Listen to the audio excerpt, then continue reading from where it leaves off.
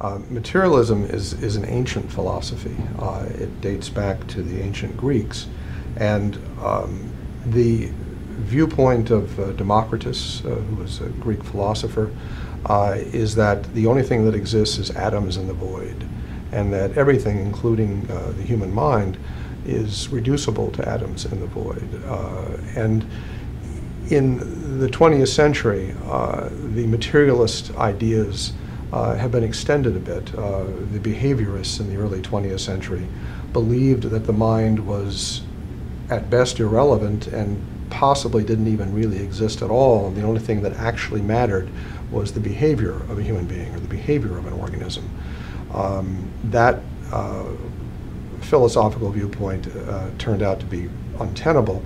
So uh, the um, viewpoint that the mind was identical to the brain uh, became um, widely accepted among materialists in the 1960s and 70s. It was called identity theory.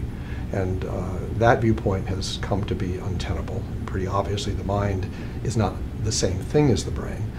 Uh, and uh, other theories, such as uh, functionalism, which views the mind brain relationship somewhat akin to the relationship between the software and the hardware of a computer, uh, has become quite popular, uh, but the mind is not computation. In fact, the mind is the opposite of computation.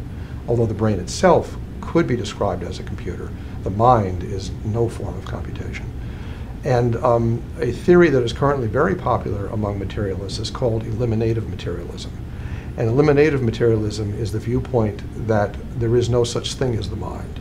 It's not that the mind is explainable by matter, it's just that the mind doesn't exist at all. And the only thing that exists is matter, and that we are deluded into thinking we have minds. Uh, that's a, a, rather radical, strange way to look at things, but it actually is rather popular nowadays amongst materialists.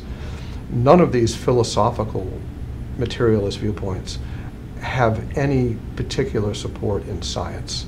Uh, the scientific evidence strongly suggests that these viewpoints are wrong.